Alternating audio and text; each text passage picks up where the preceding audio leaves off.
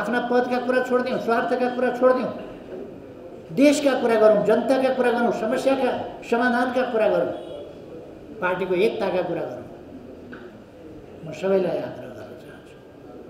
आज यस दिनमा बाटो बिराएका भड्किएका साथीहरूलाई पनि म आग्रह गर्न चाहन्छु। आज पुष्पलाललाई सम्झिएर म भन्न चाहन्छु यस पार्टीको यस आन्दोलनको एकताका लागि। सबैलाई एमनेस्टी इज ग्रान्टेड जेसुकै भएको होस् एमनेस्टी आउनुहोस् मिलेर काम गरौँ म आग्रह गर्न चाहन्छु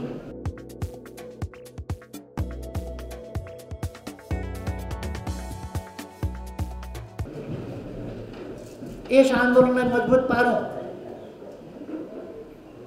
म आग्रह गर्न चाहन्छु सबैलाई आग्रह चाहन्छु। एकजुट भएर जाउँ अहिले पनि। यद्यपि यस आन्दोलनले सानो धक्का बेहोरेको छैन। यस आन्दोलनले ठुलो क्षति बेहोरेको छ आफ्नै कारणले। तैपनि म भन्न चाहन्छु।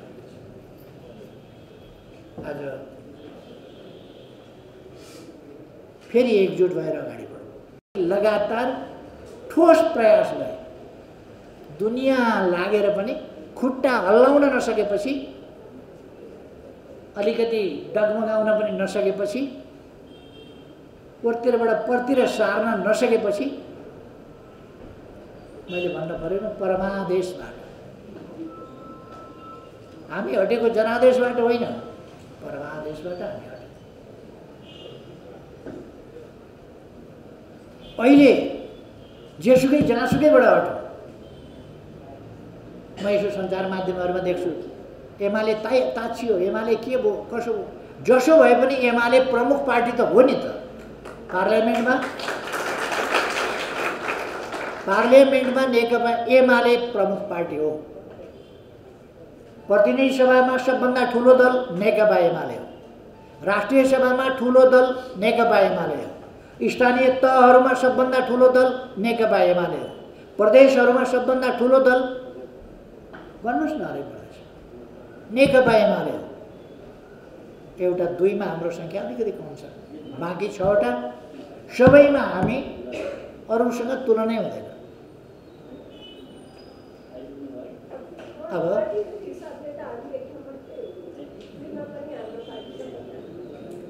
दुईमा पनि हाम्रै पार्टी सबभन्दा ठुलो छ यसो गर यो प्रमुख पार्टी हो यो देशकै प्रमुख राजनीतिक शक्ति हो। प्रमुख राजनीतिक शक्ति मात्रै होइन यो आन्दोलन।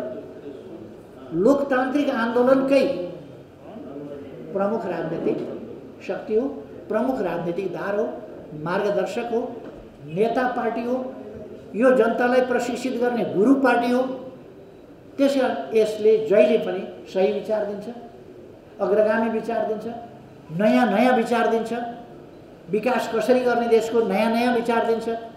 अब कति सुन्दै नसुनेका कुरा पर्छन् अनि छक्क पर्छ।